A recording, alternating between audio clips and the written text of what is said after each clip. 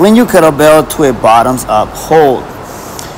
Just like a kettlebell swing, you will let the kettlebell fall down, but this time to the outside of your hips. Maintain your back straight and your core tight and push the kettlebell with the hips to create a power.